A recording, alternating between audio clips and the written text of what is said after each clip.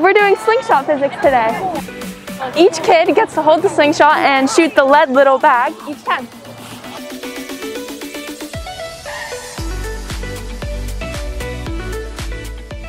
So today we're out here getting some real hands-on experience. We're using an actual slingshot that uh, I generally use in tree research, but today it's to do slingshot physics.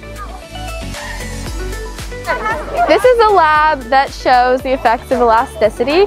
We could be using nickels and rubber bands, but we wanted to do something a little bit clearer for us to see. The potential energy in the rubber band is converted into kinetic energy when we pull it down and release, propelling the lead weight forward.